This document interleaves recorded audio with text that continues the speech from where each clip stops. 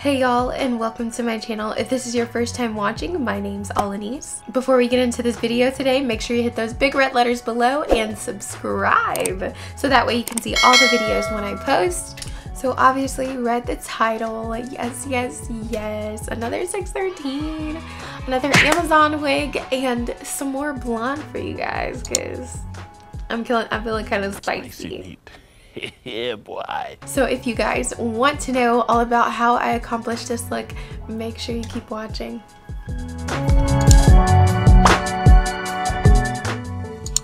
This is the box that it came in. It was actually better packaging than I expected for an Amazon wig. And in the box, you just have your wig, um, this free gift if you want it, a wig cap, and a bag to actually hold your wig. So the wig patch packaging information is actually on the outside of the bag on this little sticker. I got 22 inches and it's obviously a 613 wig. Um, straight out of the bag, I wanted to show you guys the ends and what they were looking like. They weren't that bad but they were kind of frilly. And then also, this wig came just packaged different than any other wig that I've seen before, but there was not shedding as soon as I got it, which is really important for the rest of the video because um, we'll get there later. So, before I did any detailing, I just wanted to show you guys what the wig was looking like on the wig cap. Um, it actually had some dimension to it, which I was really excited about. That means it was gonna either like take color well or tone and not just be like one hideous color. And um, I'm just showing you guys how pre plucked it was. It was surprisingly pre plucked and not like super dense and cheap. The lace was actually really nice along with it, too.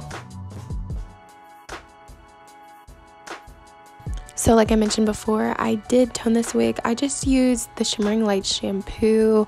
Um, and then I ended up toning the knots with this Clairol Pure White Volume Developer. And I only actually used one of these Ion Permanent colors. So we'll get into toning right now, guys.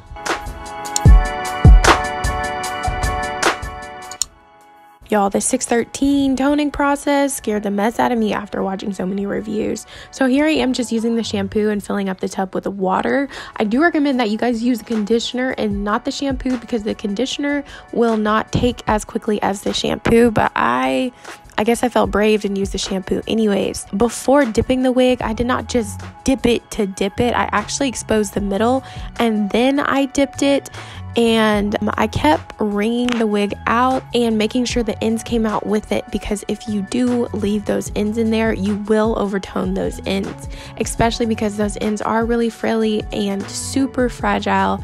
So you want to make sure that every time you're pulling the wig out, you're pulling out those ends as well. I even like let the ends sit on the side and check them while I let the wig sit in the water. So overall, I would say I did this process for no longer than six minutes. And then after that, I just checked and wanted to make sure there was like no overtoning and how the wig was looking in general. And I did get a lot of that brassiness out, but I know that when I wash this wig again, I'll be doing it again with the purple shampoo, so I'm not that stressed about it. And of course, after this process, I just went in and I made sure to rinse all of the shampoo out, as much of the shampoo out as possible, because you do not want to let that shampoo just sit in there and continue with the toning process while you're dyeing your knots. So like I mentioned y'all before, I only used one of those colors and it was actually the 7N Brilliant 12 Ion color and I just squeezed this into my dyeing bucket, bowl, whatever, and use the Clairol white. And I kind of eyeballed it because um, you really don't want this to be too too liquidy. You want this to be thick because this is a darker color than your blonde. And so you want those roots to not look blonde anymore. You actually want it to be the color of your skin. So I just sat the wig in there and put on the paste, kind of really not focusing to push it through, more just sit on the roots so that I can have that brown color to match my skin tone.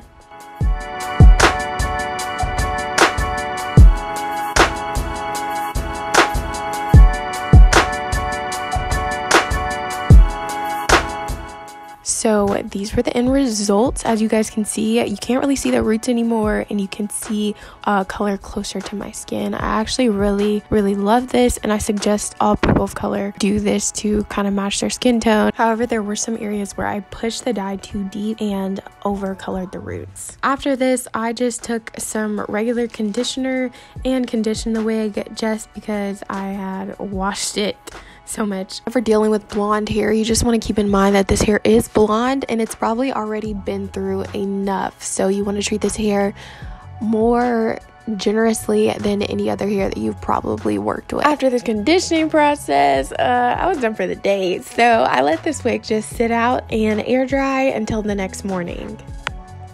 So this is how the wig ended up air drying. These are the ends. The wig did have some problem air drying in the middle, but that wasn't really a problem once I just got my blow dryer out.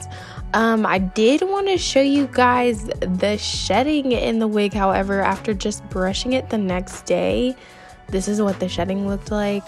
Mm, kind of interesting. And then I went in and plucked it and this is how much plucking that I did from the wig. Also wanted to show you guys the hairline and what the hairline looked after I plucked it.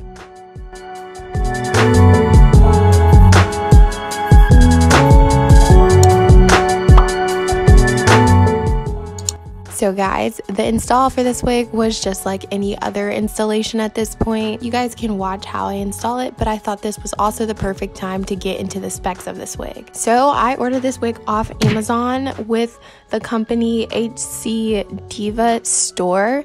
It is their 613 pre-plucked lace front wigs with baby hairs, glueless straight human hair wigs for black women. Long title, I know. I personally got the 22 inches like I mentioned above. The listing price was 176.90, but I actually paid overall 191.45. So this wig had a 4 out of 5 star rating with 49 customer ratings overall. Um, 60% were five star, four, 10% were four star, and 13% were three star, which kind of gave me something to work with. The customer images pretty much line up with the wig. There are, however, some terrible experiences mentioning how thin the wig is, um, especially at the crown. But with my wig, I personally didn't experience that. It was more for shedding. I got a lot of shedding throughout this wig that has kind of bothered me. In the picture, the wig is claimed to be 13 by 6 um, lace front, which I did experience, and you guys could obviously see that when I was dyeing the roots in the beginning. They also leave you a little lace in the back of the wig if you guys decide that you want to pull it up to make it a ponytail or something of that nature. Side note that just in case you guys wanted a different length, they also carry this wig anywhere from 10 inches all the way to 28, 28 inches in the straight hair.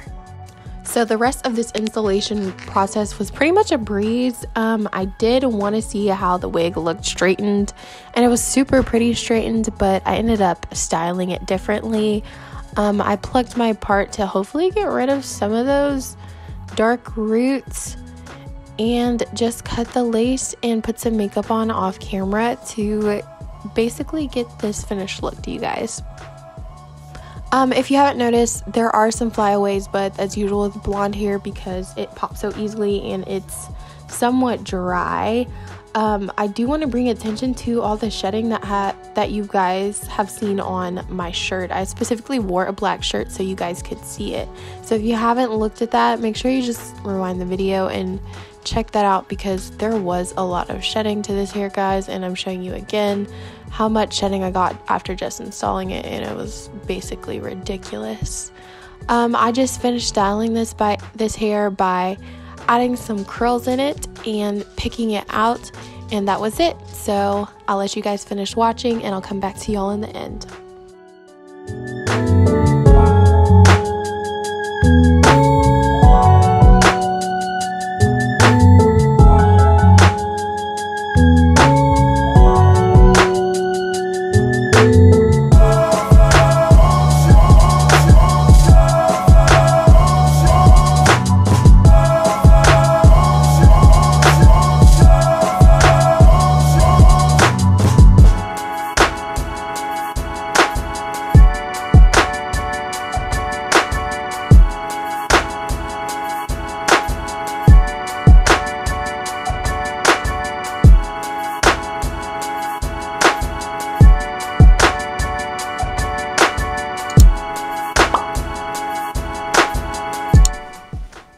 Okay guys, so this is how the wig turned out after styling. I love this look. I definitely think it was worth it, but y'all, let's get into the cons before we get into the pros. Because the cons low-key outweighing the pros right now.